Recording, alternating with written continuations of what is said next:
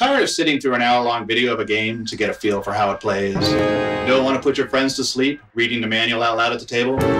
Not any good at explaining how to play? Or just need a quick reminder yourself? Welcome to Games in 5, where we try to get you up and playing a board game in under six minutes. We do quick setup, rules review, and examples so you don't have to. Each of our videos has a handy companion one sheet for download. This easy to print single sided sheet folds in half. Easy to store in most any game box.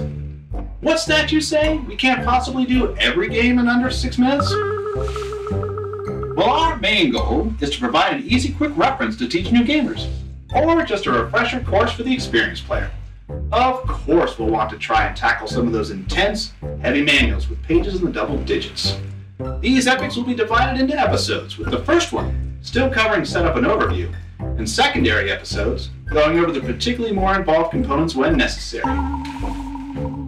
Hard for us, but easy for you. All you need to do is subscribe. It's free! Go to our site, distractovision.tv, to request games or future content. Let us know how we're doing.